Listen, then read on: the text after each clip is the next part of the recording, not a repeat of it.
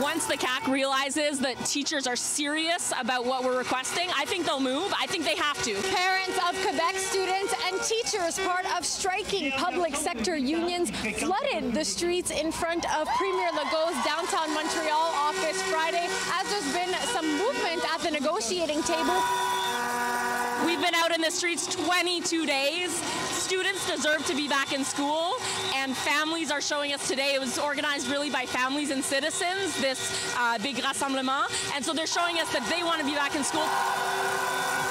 While hundreds were on the street, the FSE, the largest teachers union in the province affiliated with the CSQ, part of the Common Front, presented a draft proposal on working conditions to its union after an overnight negotiating blitz with the Quebec government. I hope it means that the government is actually moving on those core, core issues like class composition and support for students. I hope that's what the signal is, and I hope that they'll be offering us the same thing soon. It's one of the first good signs we've had in a while, so yeah, hopefully uh, the, there's a domino effect for uh, for the other unions as well. Rosemarie Perrault's son Henri has been out of school since November 23rd when the 66,000 member FAE Teachers Union went on strike. She herself works in healthcare and is part of the Common Front. I really want a good public education for my son. I believe in the public system, so I'm here to show my support and maybe put a little pressure on the government. I want to cry. I mean, it's so nice.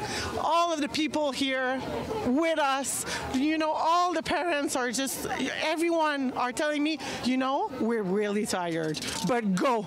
Don't like, don't give up. Striking FAE teachers have been without pay for almost a month. I knew since April that we were going on strike, so I've been very careful with my money for that purpose. Uh, willing to get out of, out of my pajamas and go to work. It's getting more difficult. I, I do these uh, these protests, I do the marches, but to get back into the classroom is going to be like going back in August. It's like back to school after the summer off. That would be really nice to spend my holidays knowing that I'm, gonna, I'm going to come back in January seeing my students. That would be the biggest gift. In Montreal, Alyssia Rubertucci, City News.